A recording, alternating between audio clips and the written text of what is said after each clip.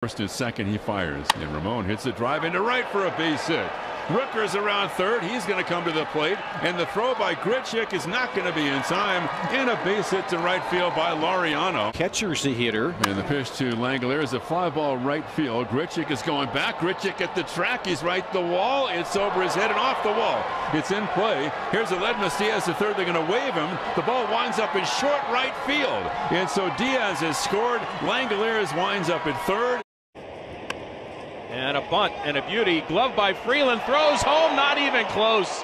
Tough play in the bare hand grab and throw. And Nick swings and he sends one to the gap in left center. Profar won't get it. It's going to get all the way to the wall.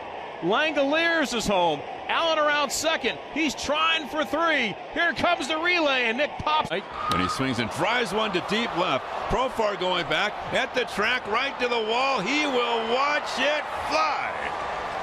And Gelof with his second major league home run. Here's a drive by Ramon, left center, way back, headed for the wall, and that is going to clear the wall for a home run.